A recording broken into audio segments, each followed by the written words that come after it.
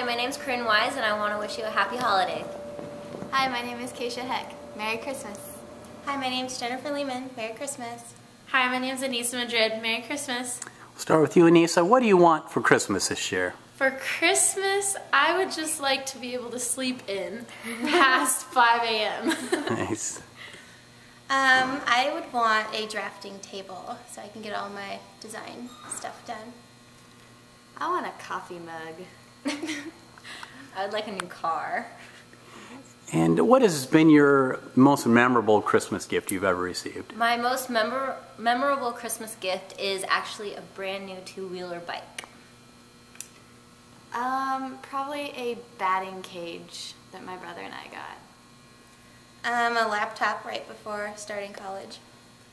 and a Batmobile for my Barbie to drive in when I was playing with Barbies. And what will you do for Christmas? For Christmas, I will be going to Orange County, California to go visit my aunt and my grandma, my cousins, and my uncle. I'm just going to be spending time with my family in Edgewood, Washington. Same thing, spending time with family, but in Edmonds, Washington. I'll be going to West Seattle and spending time with my family as well. Happy holidays. Merry Christmas!